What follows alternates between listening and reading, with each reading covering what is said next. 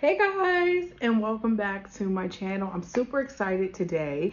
Today's video will be dedicated to everything that I've tried over the last month and a half. Things that are not worth your money, my money. Things that are definitely worth your money and things that I'm still undecided about. So let's go ahead and get into the tea real early about the products that I tried over the past month and a half that are not worth the coin.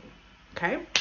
So first things first, I know I did a video a few weeks ago about the Chanel products. Uh, so I tried the La Creme Main and then also the Lafite. So the Lafite or Lafite is supposed to be a retinol um, infused uh, lotion cream and then the the regular one is supposed to be a protect brighten cream. And after about a month of you guys or a couple weeks if you guys can see that I already broke out.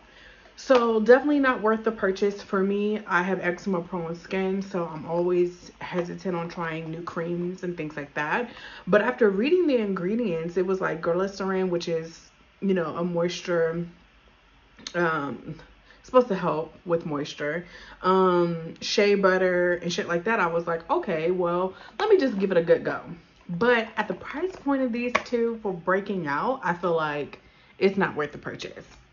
So um moving on to the next product is i have always loved a good lip balm you guys. Like a beautiful lip balm right? So i was searching and searching and searching. Now mind you i have a few that i absolutely love but i wanted something like quick and to go and things like that because a lot of the applications like the one that i love the application it came with a little brush that got stuck in there and i never like went back and returned it.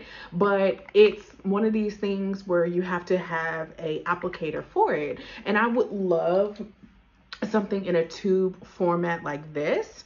So it brings me to the next product. So um, Chanel, apparently you guys, well, there was a group that I was in that suggested that I try the Rouge Coco Balm.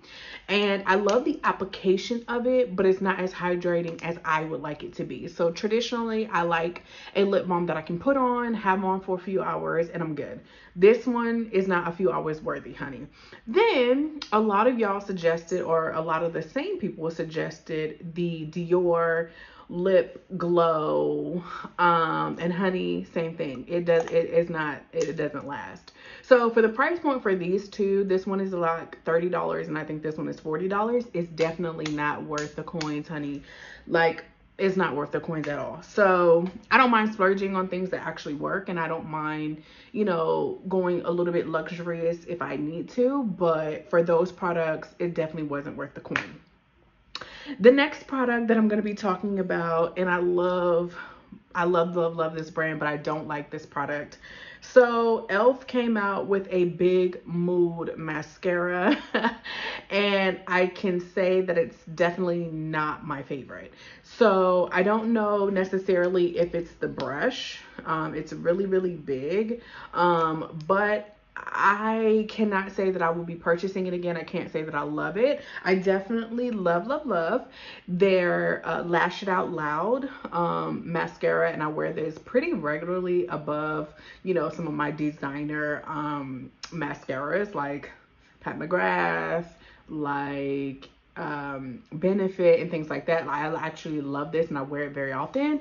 But this one i'm not sure about. I will give it a second go but off the bat just using it and trying to use it like in my everyday um is definitely not worth the purchase. So let's get into my loves over the past month and a half. So first we're going to start with, and I know I've talked about this brand a lot and I've actually reviewed them in my work from home video. So um, Tower 28 or 28 Tower, uh, depending on however you say it, okay? Um, I absolutely love, love, love this SOS Daily Rescue Cream um, or Daily, Re Daily Rescue Spray, pardon me.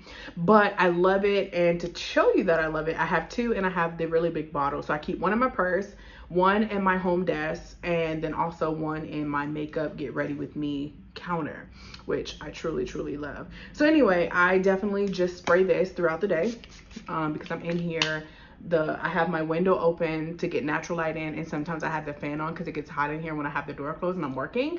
So this definitely is eczema friendly, um, sensitive skin friendly, and it is a must have if you're working from home, a must have if you're changing climates throughout the day, and a must have if you um, are, like I said, working from home, changing climates, things like that. Okay, so let's get into the next one that, our next couple products that I absolutely love.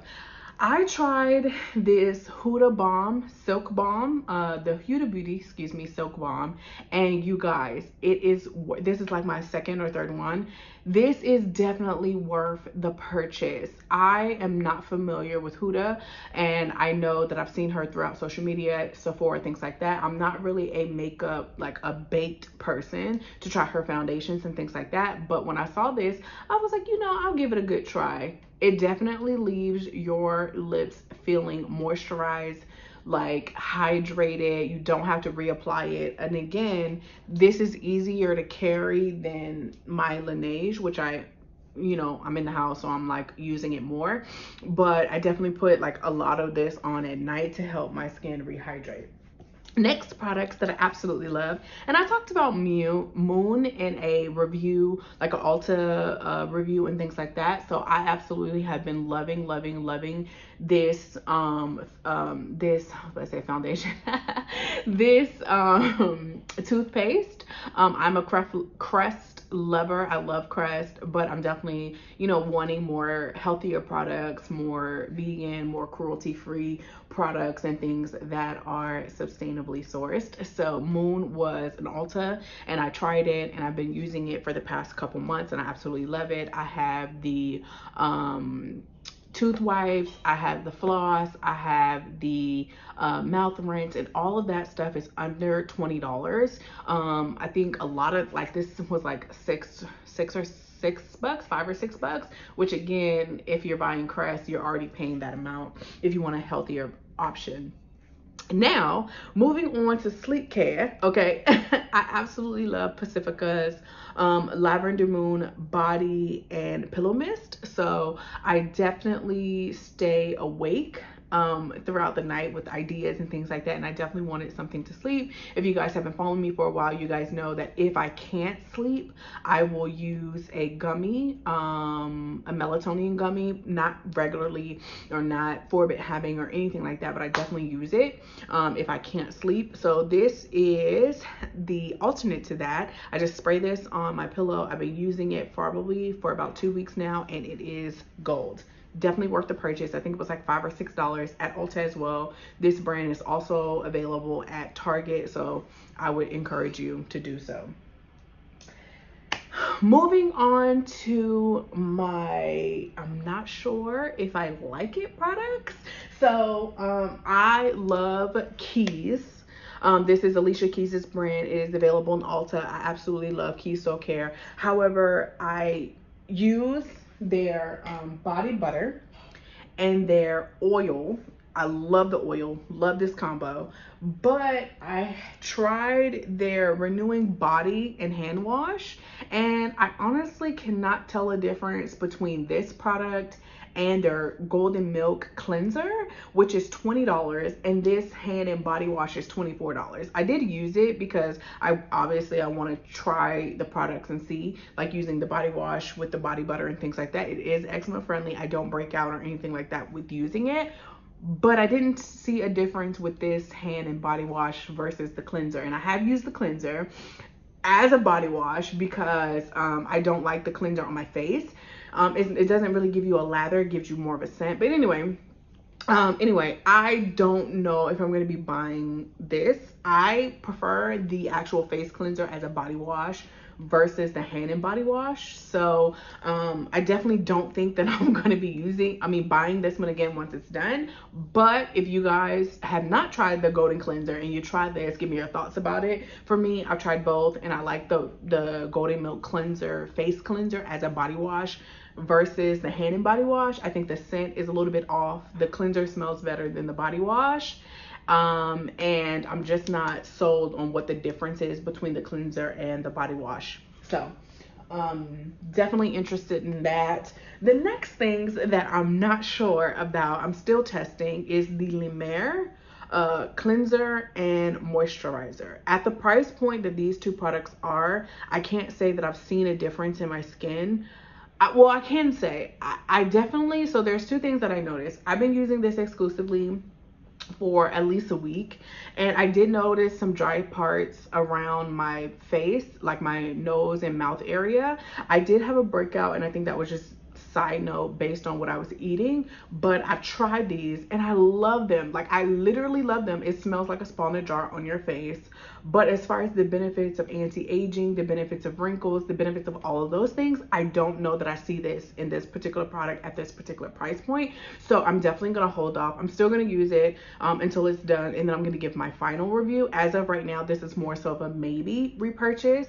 Definitely not something that um, I'm 100% on right now. So that's that. I already talked about Laneige. This is their lip treatment balm. I definitely love it. It's definitely worth the repurchase. I have it on my lips right now. Super hydrating. And then my last, last, last products that are definitely worth the splurge if you guys are interested.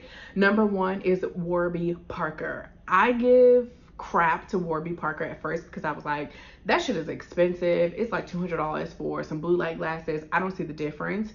But I was using Quay, which is Q-U-A-Y, Q-U-A-Y for a very long time, rather early on in the um, pandemic. And when I switched over to Warby Parker, I personally could see a difference.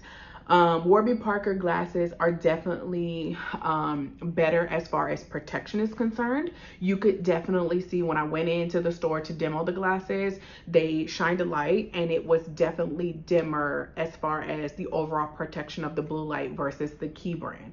So I have like three or four pair of Quay glasses and I was like, okay, at that point, three or, three or four glasses is one pair of Warby Parker. So I was like, you know what, since I'm going to be working from home, about two months ago, I was like, I'm gonna be working from home. Let me just go ahead and invest in the Warby Parker. And I'm telling you guys, it's a game changer. I wear them even when I'm not watching the movies, even even when I'm not, um, you know, at my computer all day when I'm watching TV, when I'm going to the movies, when I'm around a lot of light. Sometimes at night, I definitely wear them and they are a game changer. These are the Hallie, so H A L L I E. They are prescription friendly, so if I needed glasses down the road with prescriptions, I can go ahead and infuse these.